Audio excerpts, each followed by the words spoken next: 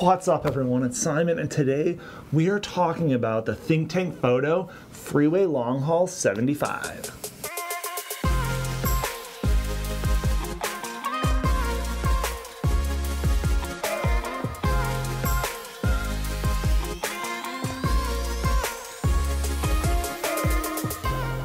If you've been in the photography industry for the last 15 plus years, you probably have heard the name Think Tank Photo.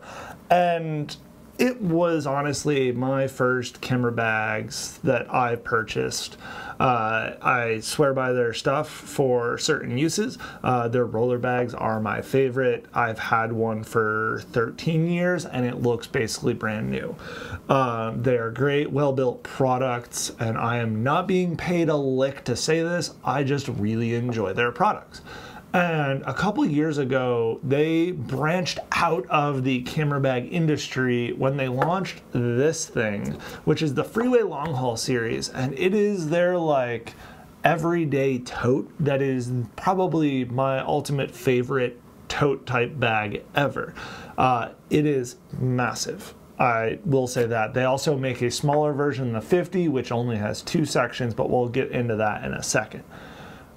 Anyways, this thing is amazing. Um, I didn't know exactly what I was going to use it for, but I loved the concept of it, and so I bought it when they did a Kickstarter.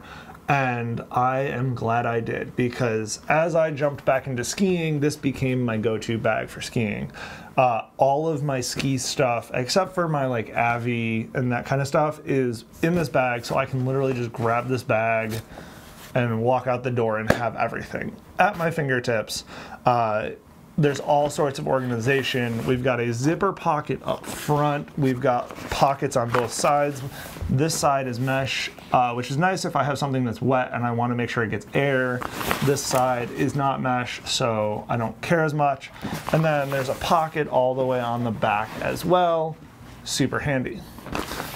Also, there's a zip shut lid if you want it, and you can also zip it and tuck it into the bag if you don't want to use it at all.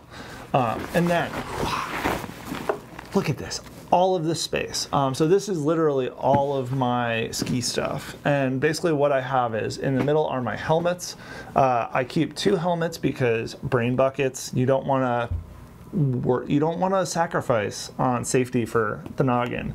It's the most important part of the human body, in my opinion, to protect. Um, so I've got two different helmets. Usually one is set up for like a slightly warmer climate. One, I because I'll take the earpieces off, that kind of thing. Um, I also have one set up to shoot on GoPro because I've been having some fun with that. And then on this end, it is literally just gloves. It's different weight gloves, it's different style gloves. Uh, and then I also keep my head covers as well. I love these full head uh, balaclava type things. I've also got some buffs in here, um, but I can literally keep all sorts of options because temperature changes throughout the day and sometimes you want to change up what you've got on you for skiing. Um, and I literally just have, I think I have seven pairs of gloves in there of different weights, sizes, whatever. Um, super handy. And then on this end, I've got, this is my ski goggles, and then I keep jackets on the other end as well. Back inside. One of the other cool things is, there are these Velcro pockets on the inside dividers. And in one side, I keep my Avi beacon. And the reason for this is when I'm getting ready to go out, if I'm going backcountry, this comes out when I leave my house and goes onto my person, stays on my person, and then when I get home and bring the bag inside, this goes back into the bag. But that way I'm never caught without it. It's always with all my ski stuff. If you are a backcountry skier, you know the deal. Um, on the other side, because of course both dividers have it, I keep passes for different resorts because of course every resort uses a different RFID card and so I have three different RFID cards that basically get refilled whenever I go to a resort. Uh, whether I'm working on a job or something, I'm able to use that card and refill it whether I'm paying for it or I am doing a job and they just want me to have that so that they don't have to print out another one because they're usually like five or ten dollars a piece. Uh, one of the other cool things is if I wanted to, I could remove some of these dividers and just make it a two section bag. Obviously for my use, this works perfectly, but you can adapt it, which is one of the best things about every think tank bag, in my opinion. And yeah, it's also not super heavy. Uh, one of the other clutch things about it is that it's not hard to move around.